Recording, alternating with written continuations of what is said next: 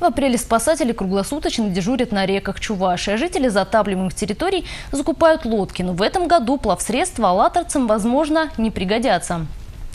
Паводок в Чувашии должен пройти спокойно. Сегодня об этом говорили на селекторном совещании с руководителями регионов, которое провел председатель правительства России Дмитрий Медведев. В нем принял участие и глава Чувашии. Более четырех с половиной тысяч населенных пунктов Российской Федерации попадают в зону затопления вследствие весеннего паводка. Около 500 пожаров уже было зарегистрировано в стране с начала года. Хорошо, что подобная статистика не коснулась Чувашии. Природных пожаров в республике пока не было. Наводнений же вовсе не ожидается. Однако всегда нужно быть готовым к непредвиденным ситуациям.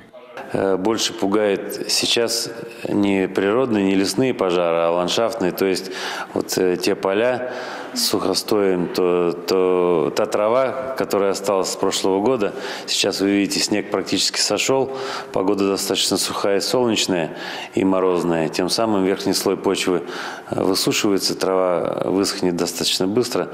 В рамках подготовки к пожароопасному сезону в республике создан достаточный резерв сил и средств. В случае угрозы на борьбу со стихией смогут выйти более тысячи человек и 200 единиц различной техники. Результаты проводимых профилактических мероприятий говорят о полной готовности Чувашии, чтобы ситуация 2010 года не повторилась.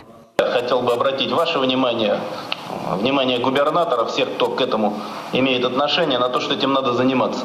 А, будем контролировать, что происходит. Если потребуется вмешательство федеральных структур, обращайтесь.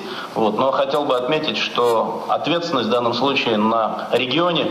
Значит, э, действуйте в соответствии с существующими инструкциями. Анастасия Алексеева, Антон Вовк, Республика.